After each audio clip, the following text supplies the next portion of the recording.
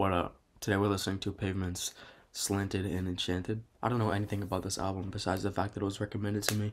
I've never heard anything Pavement at all. I don't know what genre they're in at all. But yeah, thanks for the recommendation. If you have anything else, uh, drop it in the comments. Thank you for 600 subscribers. And uh, yeah, let's hop right in. Alright, track number one is Summer Babe. Oh, that's loud. I like this.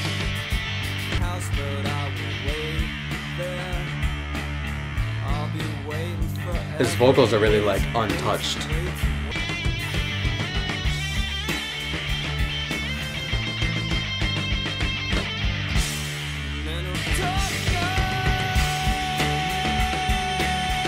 Ooh. Oh, that is a long note. That is a long note.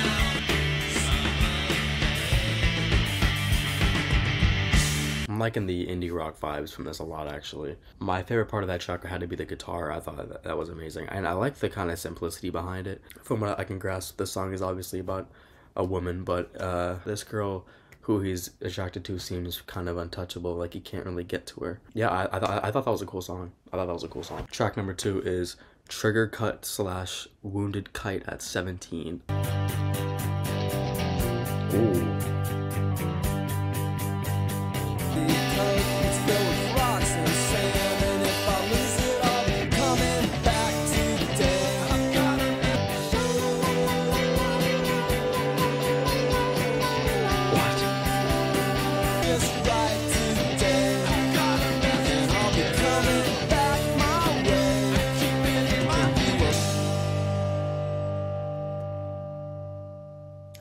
Kind of brief. It's kind of brief.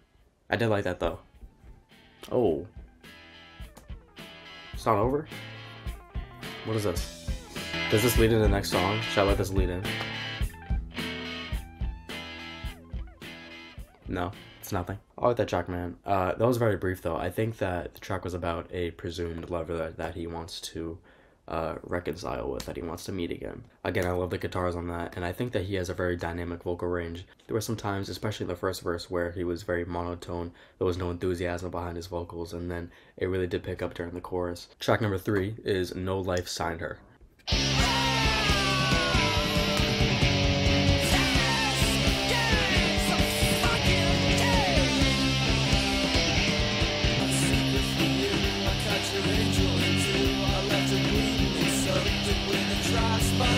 There is so much distortion.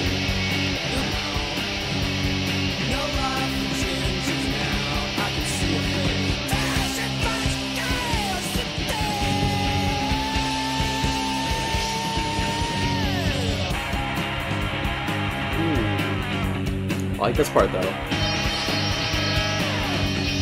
This is so chaotic. This is so chaotic. That was even more brief than the last song. I don't know if that's my kind of it's my kind of sound. I'm, I don't, I don't know if I can get down with that. I liked how you know unhinged and chaotic it was, but like for me, like that's just not my kind of energy.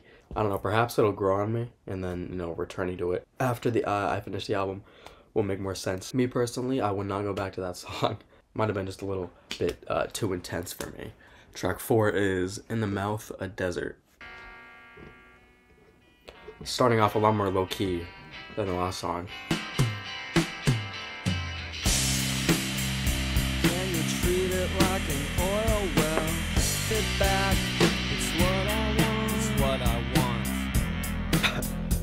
What? It's what I want. Twine comes down. Those ad libs are a completely different energy. what I can.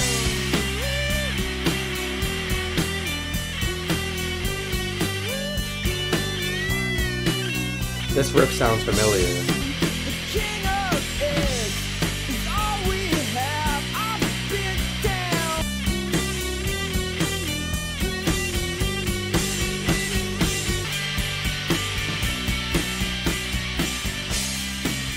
That might have been my favorite track so far. My favorite part of that was the instrumental like post chorus. That was incredible. It sounded like familiar too.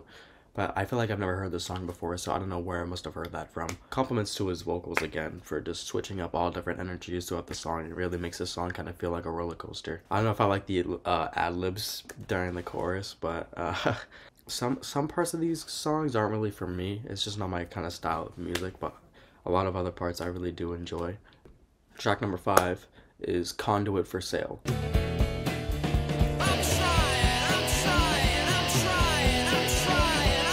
Trying to what?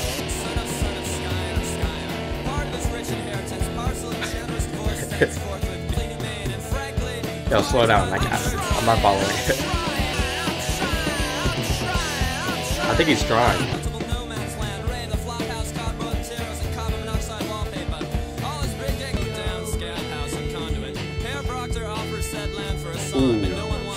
I like that guitar in the back.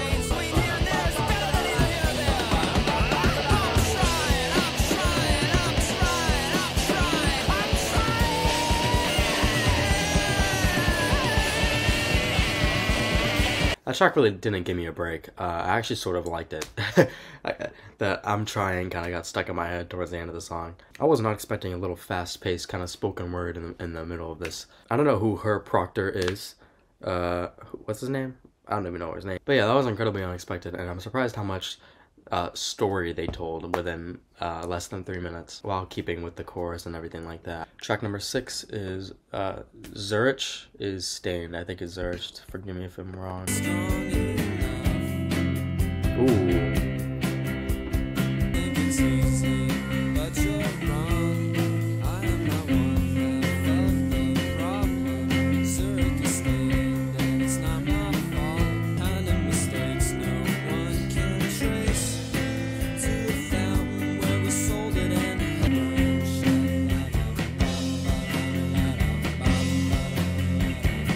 Personally, I think that was the song that I've definitely liked the most here so far. I like the low key kind of like vibes of it.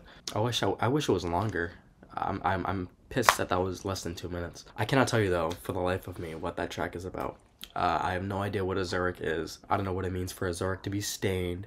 So I'm lost, but you know what? The vibe of it, I feel it. I feel what he says. I understand. And I did like the little somber guitars on that and how that how it opened, and especially the one that was kind of playing as he was st- stopped singing that was really cool. I like how I like how it ended as well. Track eight is a not eight, seven is a relatively short song, Chesley's Little Wrists.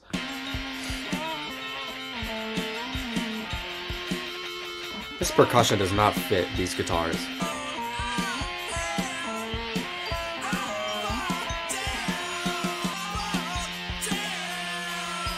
What does that mean?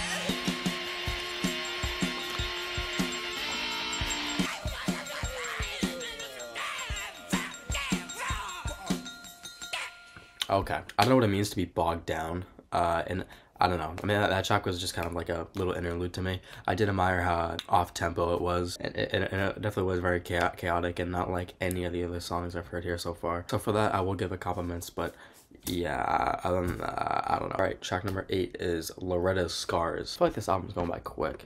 I, I, oh.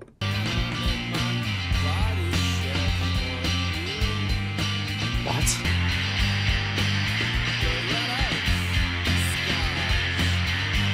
Yo, Loretta, are you okay?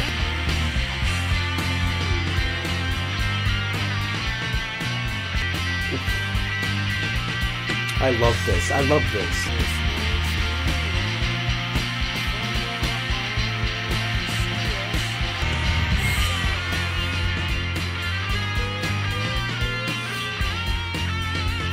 Oh, I love this guitar, bro. I gotta say, at first, I wasn't really messing with that song, but after uh, the first verse when the chorus hit uh, it all started to piece together for me and i liked how his vocals during the chorus are just kind of like woven into the song and they weren't really standing out. It was kind of like a shoegaze kind of vocal and i did like the guitar little, little guitar solo that came right after the chorus as well and i did like how the track ended off in a very intense place kind of ramping up. It really did feel like a whole story uh, with the climax and everything. I i like that song a lot. Okay track number nine is here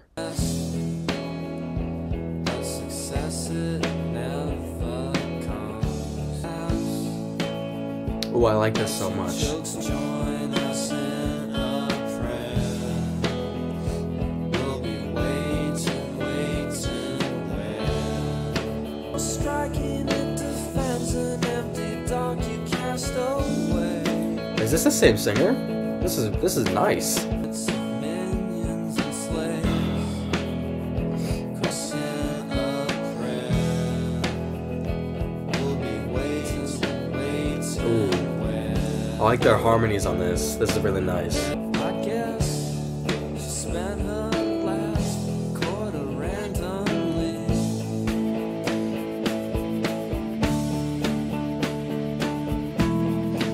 Probably. I'm, I'm taking that one as my favorite now. I mean, such a simple structure. You know, you got your verse, pre-chorus, chorus, verse, pre-chorus, chorus, and all of it was beautiful. And I like I loved his vocals during the chorus. I wish I've heard more of that so far. His vocals are a lot more soft than I thought. I, I, I just love I, I just love the songs where they're super low key and they're super, they're a lot more chill because I, uh, that's just kind of like a personal preference on my end.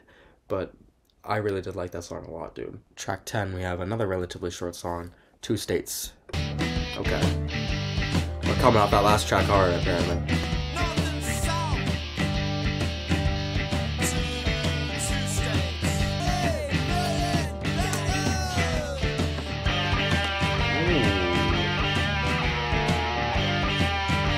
Okay. I get it, I get it. I love this guitar solo. Uh, What do you mean by that?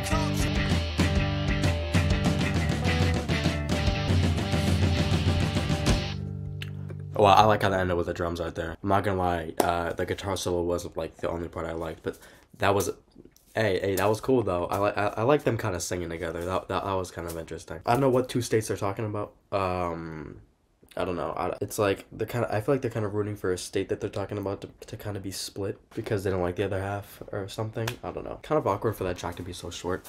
I feel like that easily could have been longer. Track 11 is Perfume V. Oh, this is crazy.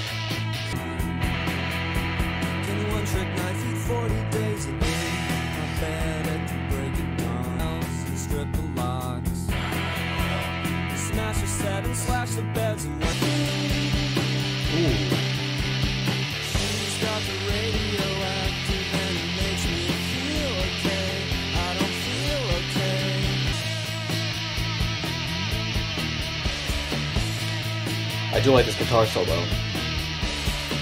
It's tracks like that that I wish there was more energy in his vocals. I think if there was more energy during the chorus, I think it would have brought the track out a lot more. Because the track is already so short to begin with, it's kind of hard for me to like see that track as a standout. I like the little um, competing vocals with that on the outro, but other than that, I, I just didn't really, I, I didn't really say that track is like anything memorable. Track number 12 is Fame Thrower. Marching band drum. were is different.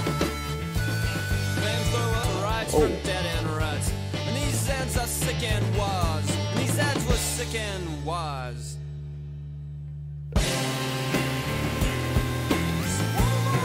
What is happening right now?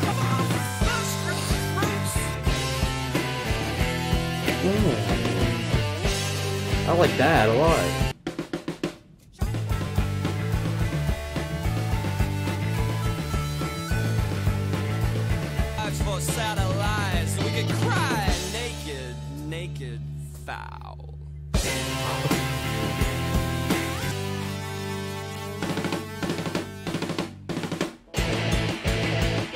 There is so much going on with this track.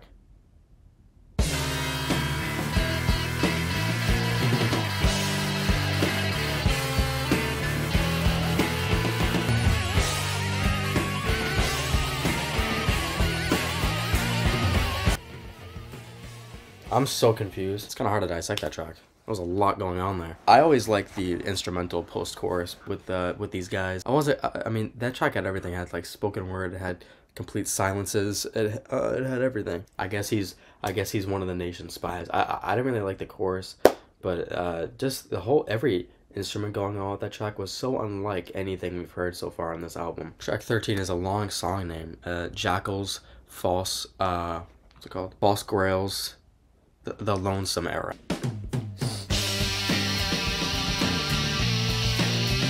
Not a lot of lyrics for like a decently like length song.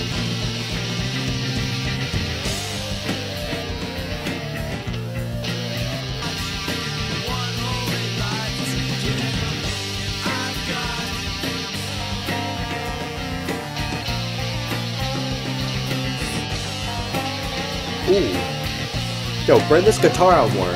Bring this guitar out more.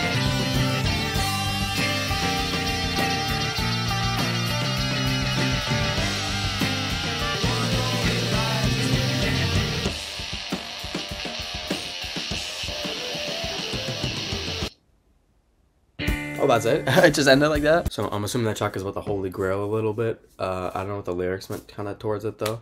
I did like uh, the two guitar solos happening at the same time. We had that really chill one happening on the right channel, and we had kind of like its evil twin going on on the left side. I thought those coalescing were really good. Very like headache kind of a song though. I mean, I did like it, but it's it's a lot for me.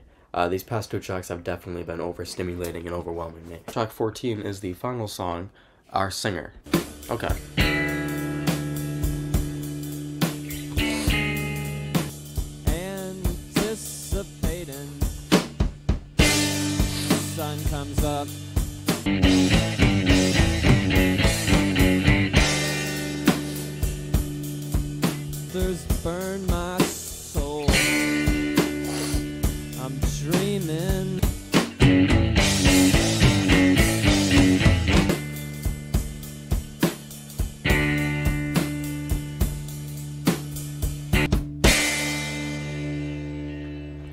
As an outro. Uh, I was really waiting for that song to end. I just, I just, I don't know. It felt a little too simplistic for me, and as like an outro, usually I expect it to be like a big, like grand finale. But I, I, I really feel like that track didn't go anywhere, and I didn't necessarily hate the song, but. Uh, in terms of this album, I think I would call it my least favorite. I don't know. You know, his vocals didn't really leave, go anywhere sp- spectacular, and and then the the, the repetitive guitar chord kind of got uh, on my nerves a little bit. But I did like the drums. I did like the drums, I have to admit. This album was definitely a learning experience for me. I definitely do not know much about whatever genre I just listened to. And I definitely have to dive more into this. And I'm sure I'll come to like this album more over time. But right now, uh, a lot of aspects of it just seem kind of foreign to me still.